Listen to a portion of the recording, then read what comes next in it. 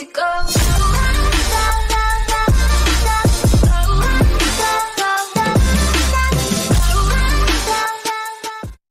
What's up, everybody? Welcome back to Shoot Ride Live. My name is Joe. I'm here with my buddy Dan. Today we're out shooting. He is going to be the second person to ever shoot the brand new BBR 3.10 that I received from Rock Island Armory, and he's going to tell us what he thinks about it. So let's go ahead and put some rounds through it and see what he thinks.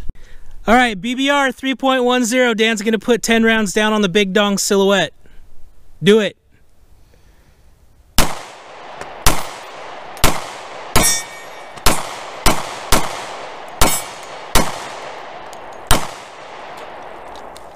All right. So you're probably between like the 16th and 20th person in the country to shoot that. What do you think?